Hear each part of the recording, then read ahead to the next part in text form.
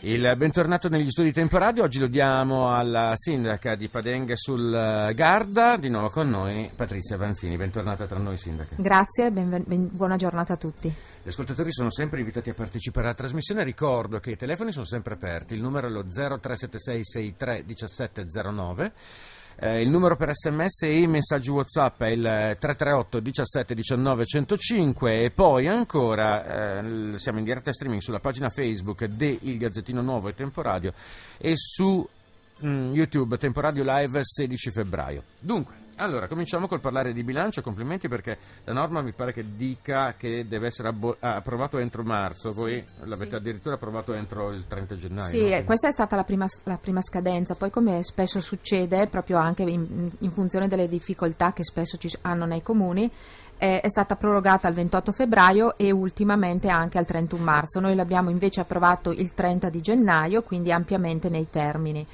Eh, chiaramente approvare il bilancio di previsione a gennaio significa fare una programmazione per l'anno eh, e quindi aiutare anche nelle scelte che poi eh, dal punto di vista dei, dei vari uffici, da, da, dai lavori pubblici al sociale, alla scuola, all'istruzione, si riesce quindi a prendere delle decisioni eh, mirate e programmate.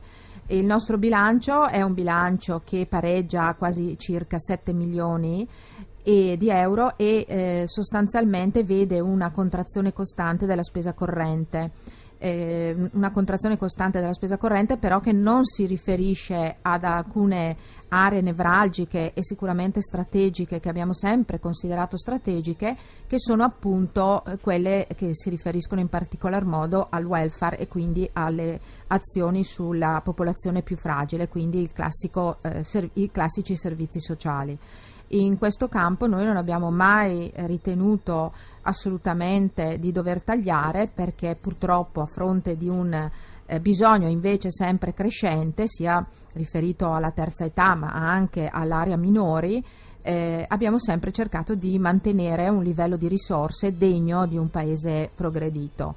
Noi abbiamo delle voci di spesa abbastanza elevate, mi riferisco in particolare a tutta l'area delle assistenze ad personam nelle scuole, mi riferisco alla, al sostegno alla nostra scuola materna paritaria e quindi a voci di spesa che noi garantiamo ogni anno perché riteniamo che eh, sostenere eh, diciamo così, la popolazione eh, anche eh, dei minori eh, significa in qualche modo garantire servizi e qualità dell'offerta.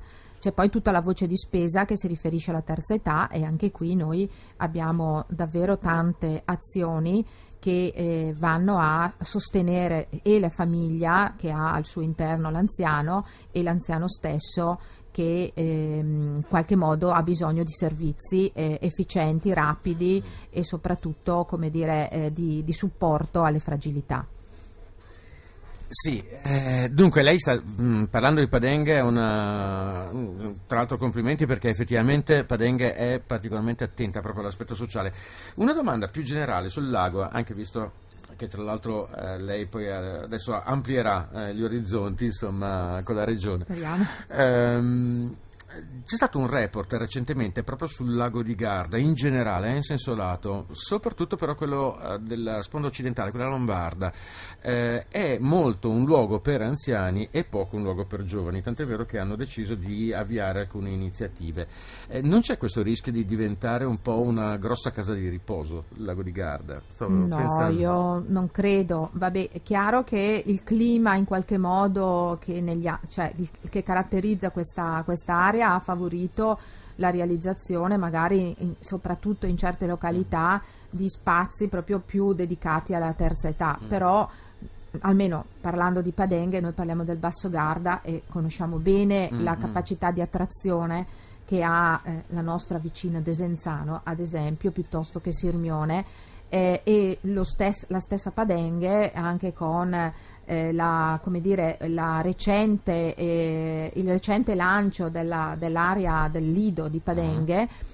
Eh, ha visto proprio invece convergere molti giovani. Molti giovani. Molti giovani no, ma infatti che... confermiamo che c'è in atto mm. proprio questo, questo, um, aumento dell'offerta proprio. Esatto, quindi, mm. e poi ecco un'altra caratteristica che si, è, comunque, che si è radicata negli ultimi anni è proprio anche la differenziazione dell'offerta turistica proprio padenghina che ha visto utilizzare in buona parte le seconde case che eh, da sempre purtroppo mio malgrado lo dico perché negli anni passati avrebbe potuto avere una destinazione diversa il nostro territorio, però noi abbiamo poche strutture ricettive e molte seconde case e quindi queste seconde case negli anni, in questi ultimi anni soprattutto, sono diventate, non tutte ovviamente, case ed appartamenti per vacanze e bed and breakfast, quindi diciamo che l'offerta ricettiva si è un po' arricchita e tutto sommato io non vedo negativamente, purché sia fatto secondo le regole e in maniera trasparente, eh, non vedo negativamente questa, questo sostanzialmente cambio di destinazione, mm. perché piuttosto di avere eh, lì una casa, una seconda casa chiusa magari per mesi, è preferibile eh, metterla sul mercato turistico, ovviamente sempre con dovute, eh, questo, col dovuto rispetto della norma. Ecco. Questo per chi non abita sul Garda, Sindaca, è una cosa abbastanza incomprensibile, ma non è bello avere magari un vicino una casa che resta chiusa per 11 mesi e mezzo all'anno, aperta 15 giorni, poi per il resto vedi questa esatto. cosa, queste tapparelle sempre chiuse e la sensazione di solitudine proprio che purtroppo si respira. Eh, una cosa poi anche, si eh, aumenta le difficoltà di gestione per esempio dei rifiuti, perché magari c'è qualcuno che viene fine settimana, il fine settimana non c'è la raccolta del vetro, quindi voi come Comune di Padenga come andate incontro a... a Beh, allora diciamo che eh, effettivamente noi abbiamo una, una, percentuale di differenziata che si attesta vicino al 70%, mm. 68-69% mediamente, però ah, raggiunge picchi più alti nei mesi invernali e si abbassa invece nei mesi estivi, proprio perché ovviamente c'è da parte del, del turista piuttosto, ecco, ad esempio questo, questo, cambio di destinazione delle seconde case eh, aumenta il problema dei rifiuti perché cambiando diciamo, gestore mm. eh, eh, in, eh, con frequenza molto spesso chi arriva, chi arriva non ha eh, diciamo, la misura del calendario della raccolta dei rifiuti e quindi non fa in tempo ad impararlo che è già andato via. E quindi in qualche modo noi abbiamo, eh, abbiamo abbiamo aperto l'isola ecologica eh, in estate con orari più dilatati e anche la domenica, quindi in qualche modo favoriamo la consegna del, del rifiuto differenziato ovviamente e indifferenziato. Anche in questo caso all'isola per evitare l'abbandono dei rifiuti che però ahimè purtroppo si verificano più spesso in estate. E in più adesso stiamo valutando un progetto un progetto di realizzazione di una isola di una seconda isola ecologica a fianco dell'isola ecologica principale, però protetta. Quindi cos- cosa significa?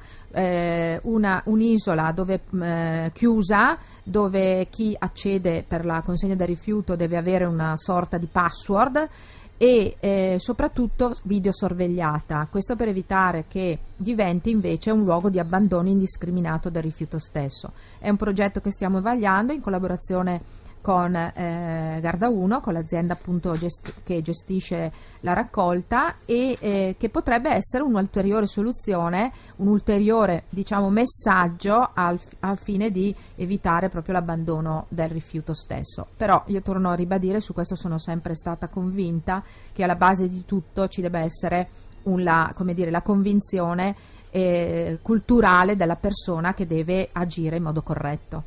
Allora, grazie. Eh, le leggo un messaggio, poi torniamo a parlare di bilancio. Patrizia è una brava persona innamorata del suo territorio, brava.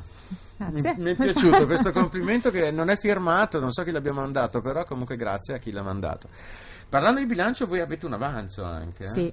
Sì, come capita in, anche in altri comuni, noi abbiamo un avanzo che purtroppo non possiamo impiegare. È un avanzo consistente di oltre 4 milioni che negli anni si è accumulato e che è di fatto impossibile utilizzare per i vincoli di, di finanza pubblica che appunto lo Stato centrale ci impone. Eh, una parte di questo bilancio, nel rispetto del, dell'obiettivo di pareggio che eh, appunto dobbiamo eh, rispettare, eh, verrà forse in parte, comunque ma in misura limitata, eh, impiegato all'approvazione del consuntivo che sarà ad aprile, del bilancio consuntivo che sarà ad aprile. Eh, questo ovviamente ci impedisce di fare degli investimenti, quindi di fare un, un triennale delle opere pubbliche, tanto per parlare in, in modo tecnico, eh, che possa in qualche modo essere mh, mm, dire, ricco di opere.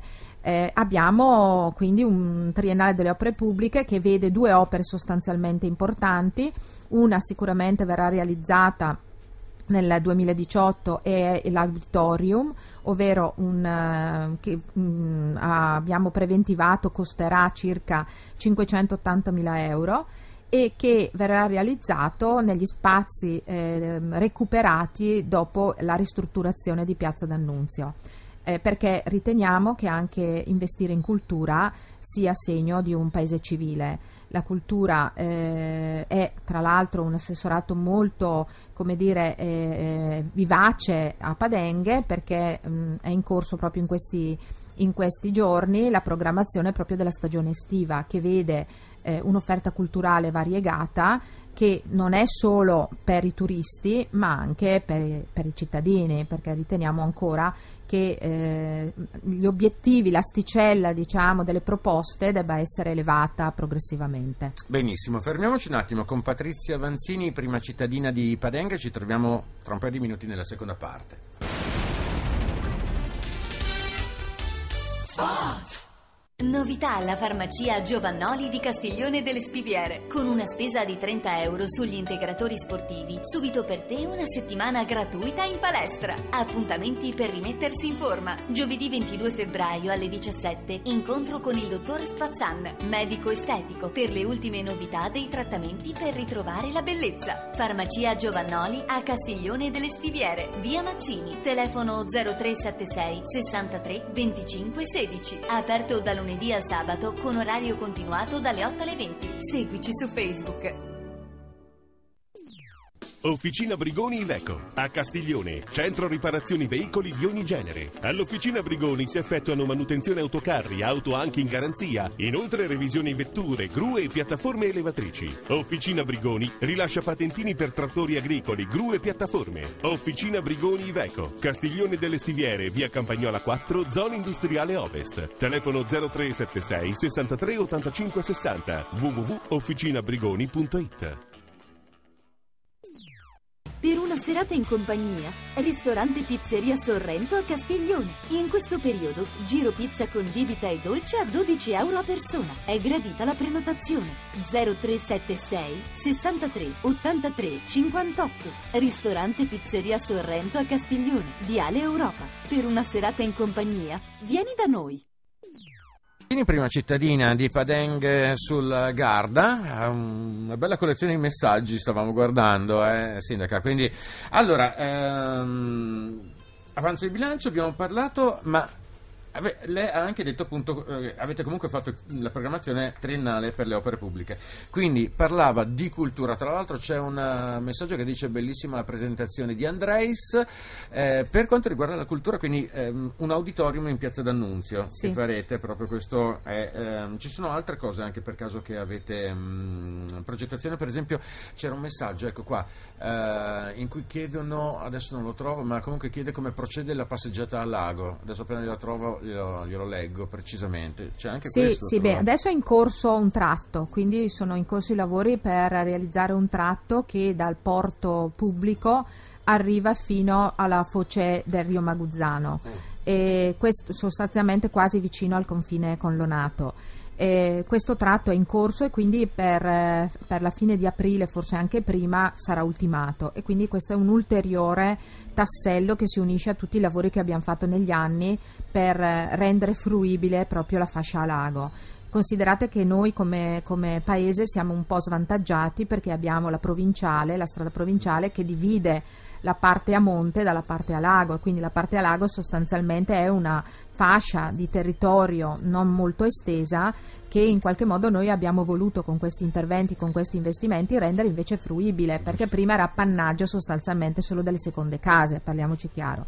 Adesso con questo ulteriore tassello andiamo ad allungare la fascia pedonale e in, nel triennale dei lavori pubblici abbiamo la progettazione di questo altro pezzettino che unisce i due porti, perché adesso sostanzialmente tra il porto pubblico e il porto privato eh, si, non sono collegati via lago, sono collegati ovviamente dalla, dalla, strada a monte. Ecco, questo quindi vuol dire che io posso comunque arrivare, eh, bypassare i due porti e comunque proseguire proprio nella parte a lago. il bello sarebbe, quindi secondo noi l'obiettivo è quello invece di unirli a lago e questa Certo. è una delle opere che dovremmo progettare per il futuro. Va detto una cosa, che eh, siccome si dice che l'erba del vicino è sempre più verde, è più verde la nostra invece in questo caso perché la Gardesana occidentale ha rispettato di più la riva del lago di quella orientale, perché basta, basta basta andare a riva del Garda facendo la sponda veronese e la, la fai tutta in riva al lago praticamente, cioè c'è poco appunto San Vigilio, qualche punto rispettato, ma veramente Sì. poco. Eh, quindi salutiamo, ecco il messaggio era telegrafico, la passeggiata a lago come procede, punto di domanda. Eh, precisiamo una cosa, le chiedono, è vero che si candida per il Parlamento? No, No. c'è qualcuno che dice giusto, ancora la mia sindaca, sono, Pade- beh, sono Padenghino, lavoro a Castelgofredo, lei va in regione, vero? Qua ah, è più giusto insomma. Fa in regione non sappiamo, dipende Si da candida. cosa si ca- mi sono candidata alle, alle regionali. Però, guardi- Chiaramente per entrare in regione bisogna essere votati, quindi Eh, infatti, è, è vero. Comunque, eh, va detto una cosa, una volta là, comunque, dottoressa Vanzini lavori per fare una provincia Garda Alto Mantovano, per cui le hanno già la- lanciato un'idea. dato eh? una... un'idea, una bella battaglia. Insomma, Beh sì, non no, perché il. Garda unito debba, che il Garda debba essere unito, questa è una, è, diciamo una cosa che io da- da- dico da tantissimi anni. Io avevo fatto una tesi di laurea proprio sul Garda unito. Eh. Quindi eh, sono convinta che questa cosa, perché dal punto di vista turistico, ma anche non solo dal punto di vista turistico, è una realtà geografica che dovrebbe stare insieme. Purtroppo, per ragioni a noi sconosciute, è un Garda invece diviso, frammentato, perché ha le sponde. eh, ha le tre province e, o- e due regioni e una provincia autonoma, quindi ah, dal punto di vista amministrativo è veramente, veramente molto difficile, separato. difficile. Però ad esempio adesso il progetto, il progetto del collettore ha visto invece le due sponde dialogare e realizzare un progetto unico che sta insieme, che sta insieme. Quindi credo che questo sia da riconoscere, è stato davvero un passo avanti in, una- in un ragionamento collettivo del Garda unico, che C'è è sicuramente un- un, obiettivo. Quello che io come i miei colleghi consideriamo un po' il nostro nonno di tutti noi, dell'emittenza, Tullio Ferro, che sostiene Sì. addirittura che dovrebbe essere una regione addirittura, neanche una provincia. Sì, conosco la- la- il pensiero di Tullio Ferro, è vero. per cui appunto proprio sostiene questo. Eh, allora, per quanto riguarda i messaggi, eh, ah ecco, non ha detto come risolvere il problema dell'abbandono dei rifiuti, è un problema che non c'è solo a Padenga, c'è dappertutto, devo dire, a Padenga non si vede neanche tantissimo, sono altri comuni vicini dove si vede molto di più, proprio questo... Beh, la soluzione, sì, la, la soluzione del- dell'abbandono dei rifiuti eh, non è che è una soluzione immediata e facile. Noi abbiamo messo anche delle telecamere in certi punti, delle telecamere per cercare di individuare e, e infatti abbiamo individuato ad esempio nella zona lì del, del centro commerciale del Simpli abbiamo dato parecchie multe perché c'erano eh, persone che eh, abbandonavano il rifiuto nell'isola dedicata al centro e lì con le telecamere siamo riusciti a individuare 7-8 persone che hanno abbandonato e le abbiamo multate. Questa è la strada, però ovviamente bisogna cogliere in flagranza, avere le telecamere di- su tutto il territorio, cosa che è assolutamente non percorribile. E, e poi, ripeto, agire sull'educazione, perché se uno abbandona il rifiuto, io torno a ribadire, questo l'ho detto davvero e l'ho ripetuto tantissime volte, uno che ha il coraggio, dico io, di prendere un sacchetto dell'immondizia di casa sua e di buttarla in un fosso o in un prato o lungo il ciglio di una strada, io ritengo che questa persona evidentemente ha qualche problema di comportamento eh, civile. Sì, anche Ecco, perché poi- so, so che il vandalismo, Eh. perché per- a mio giudizio ormai rientra in quello, Eh. hai studiato addirittura in psichiatria, per cui ha dei problemi, Mm. evidentemente, sì, pro- molto diffuso purtroppo. Qualsiasi comune, qualsiasi sindaco si sente Mm. questa obiezione, eh, glielo assicuro. Eh, per quanto riguarda il collettore, lei ha parlato appunto della- de- de- delle sponde che hanno dialogato, appunto ATO, AGS, regioni, eccetera, eccetera. Eh, a che punto siamo più o meno? Adesso siamo, dopo la firma di questo protocollo che è avvenuta a dicembre, che ha visto coinvolti tutti gli attori, adesso siamo praticamente eh, nella fase della progettazione definitiva del- eh, di questa opera. Eh, la sponda veronese ha già bandito, ha già fatto il bando per l'assegnazione della progettazione definitiva e la sponda bresciana ci sta arrivando. Eh, ci sta arrivando, appena ci sarà la progettazione, ovviamente bisogna prima fare il bando per individuare i progettisti che realizzeranno questo progetto. E, e, poi chiaramente ci sarà l'appalto dei lavori. Nel frattempo eh, è stato costruito il piano finanziario per sostenere l'opera eh, dove sostanzialmente la, eh, ci sono i 100 milioni del Ministero e eh, poi il resto per il momento è in tariffa. Però per eh, riuscire a eh, non incidere eccessivamente sulle tariffe, chiaramente quindi sui cittadini, eh, l'idea è quella di eh, sollecitare le due regioni, in questo caso la regione Lombardia e eh, il Veneto, la regione Veneto, affinché anche loro contribuiscano in qualche modo con dei fondi, eh, dei fondi propri o anche fondi eh, ottenuti attraverso l'Unione Europea. E un'altra cosa, un altro pezzettino di, questa, di, questa, di questo finanziamento, di queste fonti di finanziamento, è anche, verrà dai comuni rivieraschi che hanno eh, un, in modo unanime deciso di contribuire, non sono in grado di dire in che misura, eh, con una quota dell'imposta di soggiorno. Quindi da parte dei comuni c'è anche l'impegno di dire rinunciamo a una manifestazione, rinuncia, rinunciamo diciamo, a un intervento magari turistico, però riteniamo che il lago abbia la priorità, che la salubrità dell'acqua del lago abbia la priorità e quindi una parte dell'imposta del gettito dell'imposta di, di soggiorno verrà destinato a eh, finanziare l'opera. Poi ci sono due eh, richieste che le fanno tra, dagli ascoltatori. Eh, quando si chiude il centro per le manifestazioni, magari ne parliamo anche adesso di turismo e manifestazioni, mettete, dica ai vigili di mettere il cartello prima della rotatoria, eh, scusi se sorrido.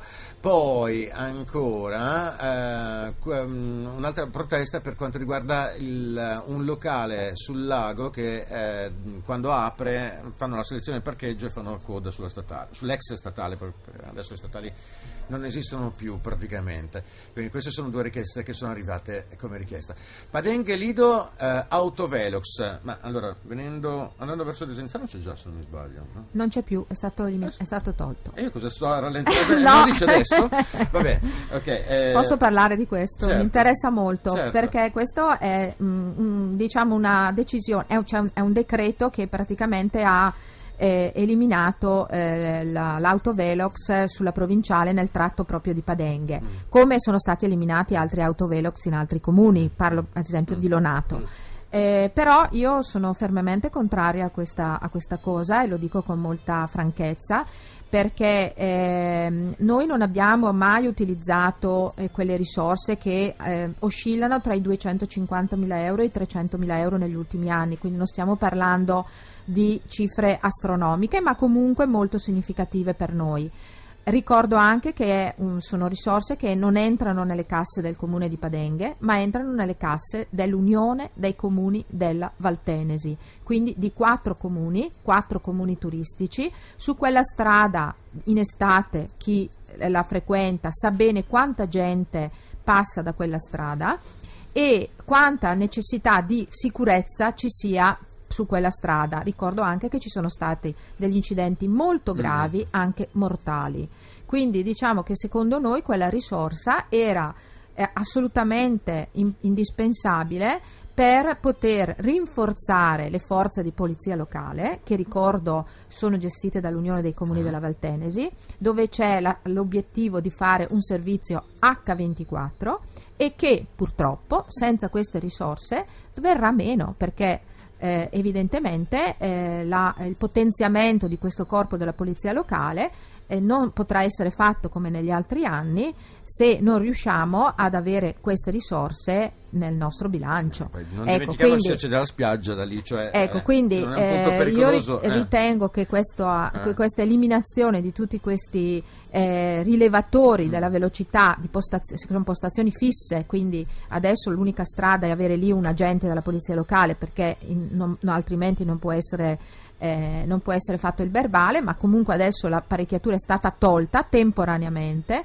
Noi abbiamo contrastato questa decisione, cercheremo di eh, esprimere alla prefettura eh, no- le nostre ragioni del perché riteniamo che invece debba esserci.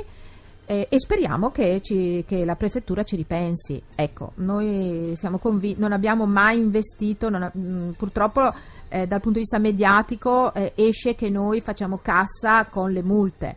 È vero, sì, quelli che pagano le multe, che tra l'altro non è che tutti quelli che hanno le multe pagano eh, purtroppo abbiamo anche degli, dei mancati incassi che dobbiamo seguire negli anni perché Certo. l'incasso non è al 100%. Certo. Quindi eh, secondo noi è una risorsa importante. Lei le chiedono tra i tanti messaggi che ci sono eh, se ha una data più o meno da, da segnalare su, mm, su quando si finirà la passeggiata fino a Porto Dusano. Beh, il Porto D'Usano non è, È Padenghe, ma è Manerba. esatto. Ah, ecco, cioè il, il collegamento tra Moniga e Mm. eh, Manerba è un, co- un collegamento molto difficile perché è la scogliera, Esatto. per cui penso ci vorranno anni. Anni, eh, infatti. Allora, siamo in chius- le segnalano anche furti, dice Fabio. Sì. Un sindaco poi tra l'altro in gamba con eh, tutte quante le, le qualità, insomma.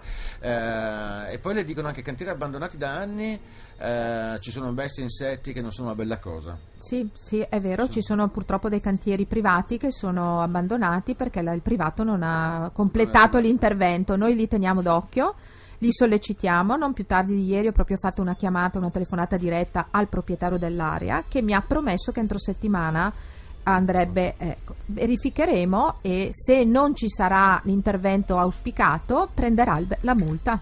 Benissimo. faremo un verbale. Siamo in chiusura. Ringraziamo tantissimo Patrizia Vanzini, sindaca di eh, Padenga sul Garda. Grazie, arrivederci. Grazie.